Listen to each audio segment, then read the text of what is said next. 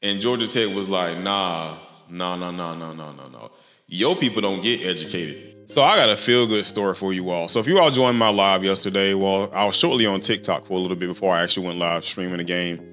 But I was talking about with our, all of our um, our feeds filled with so much chaos. Because I don't know about your feed versus mine. I, well, I don't know if you, I don't know if you get into what I'm doing. Like I, I get into a ton of activist stuff, and of course I'm out here um, making complaints against the things that taking place overseas and like in the in the Middle East and stuff.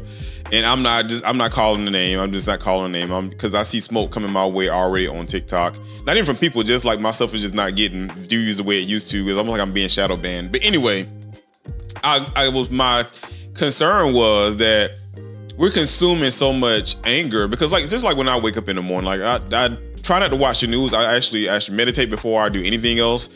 And then when I'm making coffee and stuff, I'll, t- I'll start tuning into like, okay, what's going on in the world? What's going on in my local uh, city? What's going on with the rest of this country? And doing so, you know, it messes with your algorithm on social media to where you just get hit with so much chaos. Like it's just, I mean, it's, it's just so much chaos everywhere. I mean, people are. I'm gonna make a story on this because I'm gonna make an actual thing of talking about this. But people are, you know, protesting the Met Gala, which they always do. I mean, it's always something protesting the Met Gala. But I'm like, we need something. When do we take a break? Like, when do we actually pull away and take a break and secure our own mental health? Because if you if you have so much, you know, chaos around you and you never take a chance to like breathe, it's not gonna do nothing but make you sick because you're gonna be mad all the time. And I actually talked to somebody about this because it was just like it was. So, I mean, they were so angry, they was growling, and of course they probably they got mental health issues. But I was like, why are you so angry? I'm like, I, I get that you might be upset behind stuff, like, but why is why does it have you feel with like so much rage that you like growling, like you just like you it's just really eating you up. And I think that's the problem that I see a lot of us have today. Like we don't know how to disconnect. Like we just we we get so sucked into it. We we don't know how to separate ourselves from it. And it's sad because the people that's going through it, they do need help. Like I mean the people, I mean, you know, they got families getting killed. They got or under um, represented communities, you know, they're suffering from uh, from from not having enough funds in the community. They don't have enough schools. The uh, housing and stuff is bad. Housing is bad everywhere cost of living is extremely high. So the, the income is not meeting up with how much the cost of living is going up. And it's just so is I say that to say that it is just bad everywhere. Like realistically, it's bad everywhere. And when you have like this caring person, caring spirit about you, like I, I mean, I have that about me. It's like you really got to pull away sometimes to preserve your own mental state because it's just it's tragic. And I, I get that those living in there they can't separate from that. Like they're actually in it. in this, but the person is not in it I mean, you got to step away. As sad as it is, you have to pull away sometimes. And I'm and I'm bringing it all it up to say that I got a feel good story for you. Like I really got a feel good story for me. Y'all know me. Like y'all know what I say. I'm always shouting at engineers. I got a feel good story for you because it actually put a smile on my face. I mean, there's a lot of stuff that's going on, but it, this this one really did put a smile on my face. So one of the first black engineers who graduated from Georgia Tech, he presented his granddaughter with an engineering degree from Georgia Tech over 60 years later. And now that when I read this story, it almost put uh, well, it technically almost did, you know, make me tear up and stuff. Because I got my two boys in college. One is going to Michigan State, and the other one is going to Savannah College Art and Design here in um the, in Atlanta. And I'm an engineer by trade. Like I my, my degree and stuff is in uh, computer science and uh, cybersecurity. But um to see that to see this this I mean I would be if I would have been in this audience I would have been in there bawling my eyes out to see this her this this grandfather present his granddaughter with her graduate degree her master's degree from uh, Georgia Tech 60 years later and he was the first black man to attend Georgia Tech yo I would have been in there crying because it goes to show you and I try not to always make stuff I, I know y'all be like man cap I try not to always make stuff about race all the time. But I don't. I mean, but we've experienced so much hate and so much trauma in this country, man. Like, is that's the thing? It's like it's there again. It is hard not to talk about the things that we've gone through and we continue to go through when it like when it continues to happen and i try not to let it consume me sometimes because we're not the only one we are suffering but we aren't the only one suffering which is why i i, I kind of make stuff about politics a lot because i'm like i don't understand how you could support a party either party when they're not doing anything to benefit your bottom line. And it's like well how do you do that? How do you support a party and I'm gonna put on. I'm gonna, I'm gonna, say the the R side, the the, the REP side. When they're not doing anything to benefit you, it's always about projection. So it's projection anger of people coming across the border or you know, uh, DEI taking place and they're being discriminatory towards other people when we're just like, okay, come on now, for real. And then affirmative action, and it's always like abortions, and then you got to worry about LGBTQ, and then you got to worry about socialism. And it's like, yo, for real? So I'm like, if it's so bad, cool. If it's bad for you and that's what you believe, at the end of the day, if that was for what you believe is for you, is for you. But if they're not doing nothing to help you out, why are you supporting them? And that is my frustration because I was like, yo, everybody is suffering. Like everybody is really suffering right now. Everybody is suffering right now. I don't care what race you are. Everybody is suffering right now. And that's why I'm like, it, it, it bewilders me. And I, I don't want to get on this huge rant because I think this is real good. It's, I'm just making up the, I'm just setting it up. I'm, I'm doing a layup. It's like, it's so much stuff, but you want you rather hang on and and big up aside that ain't really that's that's not doing anything for your bottom line outside of feeding into the rage and the anger. Which is why i say that i generally cover and talk about a lot of stuff when it comes to the black community because it's stuff that hits home for me and stuff i know i personally had to deal with. Like when people say oh well you know it didn't really affect you i was like yeah, yeah it kind of did affect me being from the south. I'm like from the deep south too.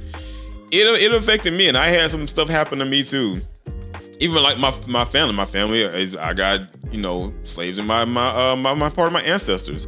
I mean, I grew up playing on one of the play on a plantation that my people, great great grandparents, actually worked on. They gave they end up giving some of the housing and stuff to you know my my family to live on, but we still living on the land that a lot of black people died on. And it was my family was. So we would go visit them. They didn't have no dirt road. I mean, they had no dirt. They didn't have any paved roads. It was all still dirt roads, all the outhouses, everything was still out there. So I saw this stuff going up. But anyway, so I say all to say, in stories like this, you hear what happened and you glad to see that the world changed for the better part of it. So this institution, so we're gonna start with the, the the brother's name is Ronald Yancey. This is her grandfather. He was uh, the first, like I said, the first black engineer that graduated from Georgia Tech. This man applied to Georgia Tech, and Georgia Tech was like, nah, nah, nah, nah, nah, nah, nah, nah. Your people don't get educated. No, you going uh we, we we don't we don't want your kind even over here. Real talk. I mean, they didn't say it like that, but you know, we you know, I'm I'm trying to make it. they, so it's like they didn't want him coming there. So he ended up going to Morehouse. Ronald Yancey ended up going to Morehouse, and he got his his degree in uh, math and physics. But even though me personally, I would have been like, F it, you know, I'm I'm done. But this man really wanted to get a degree from Georgia Tech. I don't know why that was his thing, because at the end of the day, as frustrated I would have been and as sad as I would have been, I would have just like, you know what, forget this. But this man was persistent about it. So he he went to he went to Morehouse, like I said, got his degree in math and, and physics.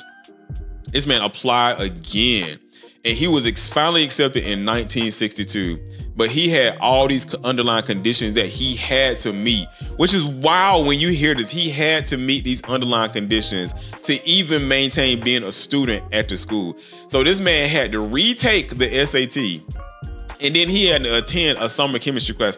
This dude, this. This see, I'm, I'm trying to make say the N word. This man already got a degree in math and physics. Like this man is already, he already got his bachelor's degree. Like he legitimately already got his bachelor's degree. You gonna make this man go back and retake the SAT? How disrespectful is that? Like real talk, how disrespectful is that? That's almost like somebody walking up and seeing your degree and tear crap in front of you and talking about this paper don't mean shit. I mean, they legitimately disrespected this man like that. So then once he was enrolled, they made extra demands on this man. So he did it.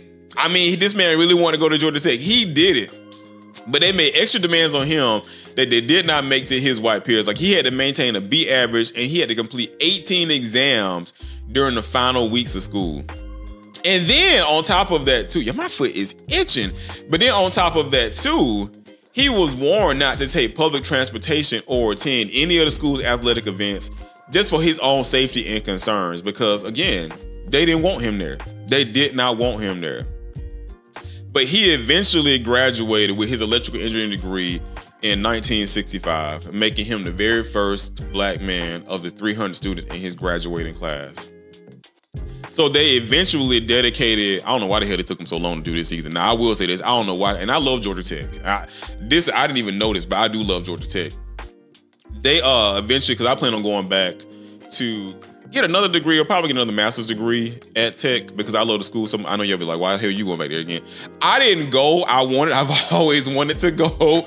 I didn't go. I, I just, I mean, my parents didn't have the money for even for me to do that, and then at the time too, I didn't have the grades to do it either because it, I just didn't have the grades to do it to get there.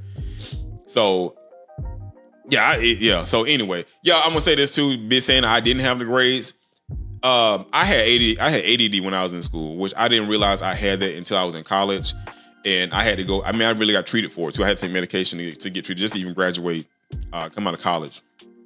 So I had it throughout school, throughout elementary school and throughout high school because it's one of those things where if you have ADHD now, you understand that it's hard for you to stay focused. Like it's hard for you to stay focused. My when I was trying to read and stuff, I was playing. Well, Mario didn't exist back then. I'm gonna just use that as, as a metaphor. I was playing Mario in my head. Like my mind was always somewhere else as opposed to being directly onto my studies. So, um, but yeah. So that I mean, that's why I really didn't have. I mean, I graduated high school and I did well. I mean, some classes I really like. I enjoyed history and stuff, but I still didn't graduate with a high enough, a great point average to be able. If I want to go to Georgia, Georgia Tech, I probably wouldn't have been, in, been able to get into it. But I can now. I mean, I got my stuff now. I mean, I, I got my stuff now. But they finally dedicated a sculpture to this man in 2019. So it was it, it, lets you know how far they have come because Georgia Tech is a phenomenal school right now. I, am not even gonna cap on that. I understand they had some racial issues they was dealing with. A lot of schools and institutions that's been around for a long time, such as Harvard, Stanford, all these other people. They had racial things they had to deal with. Some of them still racist. I mean, they still got them, under, them undertones, but they still they, they've, they've improved. But to see how they've come along now. They have a very diverse group of students there. They do a lot of stuff in the community. They have a lot of summer programs. They encourage youth and stuff to, to get back into. My wife even got a certificate doing um, front end, back end development there, like a full stack, full stack development certification there.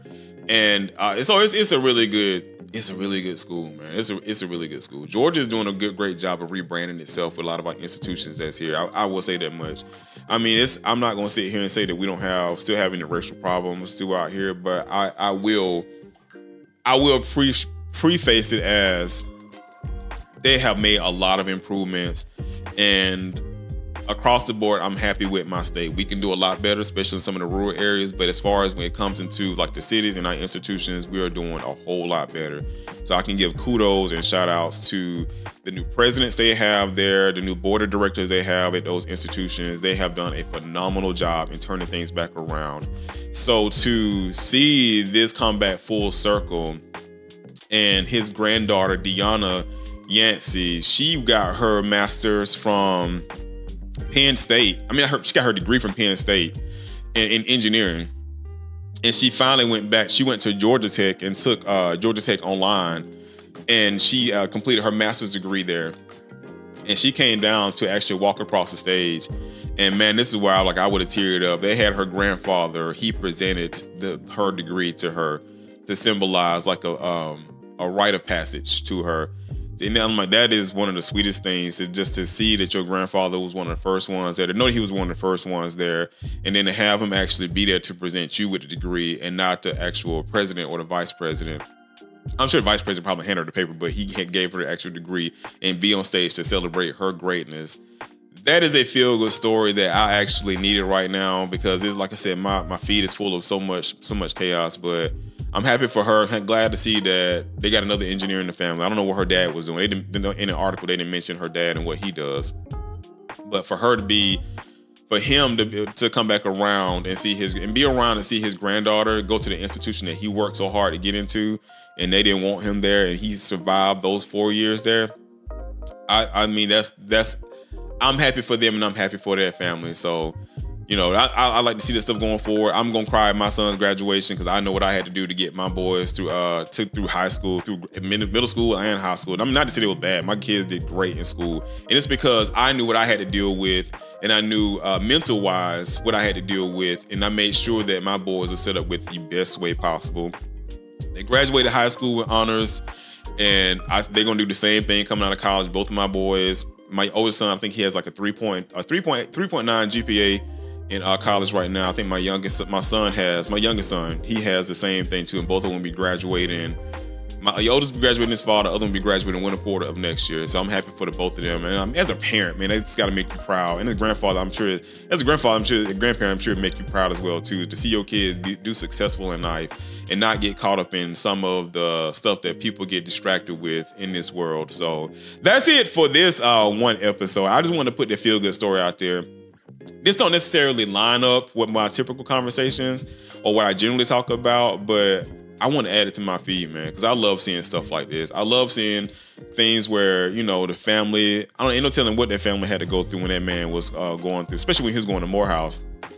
And you know you have that one place you want to go to, or one place you want to work at, and you know without a shadow of a doubt that the reason they're not getting letting you in is because of race or discrimination. I don't care if you're a man, I don't care if you're a woman, or you're not getting that promotion because they don't want to see you up there. Again, I don't care if you're a man or you're a woman. Women have gone through this too. All women have gone through this too. I'm not saying about black people. All women have gone through this too. Where you knew you was deserving of something, or you knew you were deserving of that extra pay, and you was being blocked because of old school prejudices that's, that exist in this world still to this day. So to have this come out, I love it. I love it. So thank y'all tuning in. I'm, I'm doing some more um, uh, streaming tonight, but thank y'all for tuning in for this episode plan on talking. I am going to send it. Put so you're gonna give two multiple episodes a day. I plan on talking about the whole Drake thing, and again talking about you know the feel good stuff versus in the midst of the chaos taking place around the world. But I wanted to put this out there really quick because, like I said, I, it's a feel good story. So thank y'all for like I said, thank y'all for tuning in to this uh, this episode. Make sure y'all turn y'all the notification bells.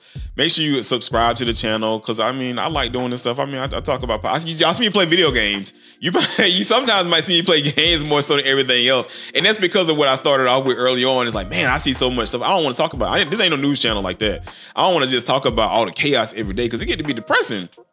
So but but if you like the content, it's very diverse here subscribe to the channel. At least you can do is subscribe to the channel. You're gonna get some laughs. You're gonna get some anger sometimes from my frustration with some of how we doing things, especially politically. But then you gonna have some feel good stuff too with video games and me presenting stories like this, or with the excitement of new technology coming out. Because I am gonna talk about Apple's the WWDC event, and then the last event they came out with the new iPads and new M4 chips that they put inside of the new iPads, and then talk about Google's I/O that is getting to come up next week too. So and I'm gonna do a, a, review on my my car on on on EVs. But uh, yeah, turn on. But, but you won't hear about it if you don't turn on your notification bells to be notified when episodes are are published, and you won't know about it if you're not subscribed to the channel. I try to be a very diverse channel. I don't see too many channels like me where I do of community service work, and it's not gonna be a rant. It's just telling them my qualifications. I, I have experience in everything that I talk about. It's not just an opinion based stuff. It's experience that I've actually worked and I've lived in, and I still live and work in to this day. So yeah, turn on your sub- subscribe to the channel, please. Please leave a comment down below how you feel about this. How was school for you? Did you go to the institution that you wanted to go through? If you didn't, like what was the challenges that you faced? Is why you couldn't get into it? Was it personal, or was it because you saw something happening with the school itself? And also, if you ever thought about getting into content creation and doing a podcast, I do have a book out. The Ultimate Technical Guide to Creating a Podcast. It is out right now. It is a digital copy available right now. A physical copy will be coming out in the next couple of weeks. It is on my website, ptgtv.online. That's ptgtv.online. It's in my About Me section. It's also available on Amazon. It's also available on Apple iBooks. And it's also available on Google Books. It's a digital copy. Go check it out if you think about talking about getting into into into into content creation or creating a podcast. I can't can't talk today. Into creating a podcast, and it goes from from beginning to the very end on this content creation. So y'all check that out. It's only you know it's, it's not that the price is not even that much.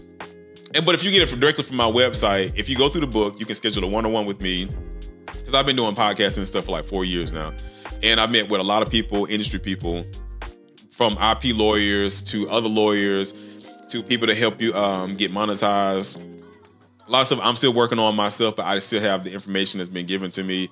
So um, yeah, get the book, man. Get it from my website. You know, you get that one-on-one, you get that one-on-one, free one-on-one time with me to go over whatever you have a question with. Like I said, it's available on my website, ptgtv.online. Until the next time, Y'all be safe out there. Love you all. Peace out.